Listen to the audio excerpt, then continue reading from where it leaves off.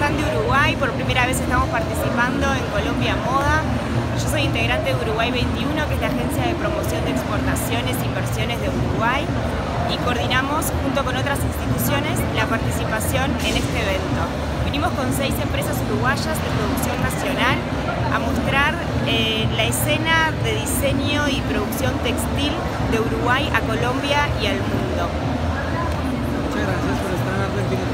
Bueno, muchas gracias.